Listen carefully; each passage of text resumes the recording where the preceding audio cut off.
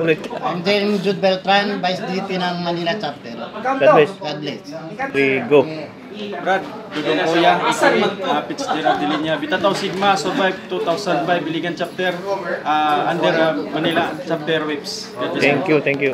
Furthermore, Bailon Marsilio, Alpaca Paroto Chapter. GT Imos. Ngayon GT ng Imos.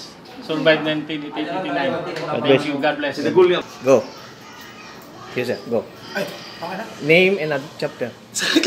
Isis May, um, Pagadan City Chapter, survived 1999. Um, currently, Manila Council Secretary. Modern says, uh, my name is Gilbert Lopez Deserto, a chapter president city, survived 2007, August 22. Thank you, thank you. God bless. God bless. Hello, brother and sis. I'm uh, Escalori King Gilbert from uh, Gamma Sigma Road Tukuran Chapter. God bless. God bless. Hi, I'm Ken Taugama Fee, SPICRF. God bless.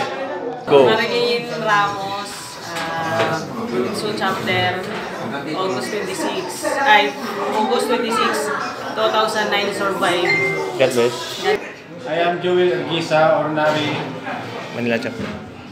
Manila. Manila Chapter. God bless. God bless everyone. I'm Grand Region of Luzon, Brad Ong. Uh, year survived 1992.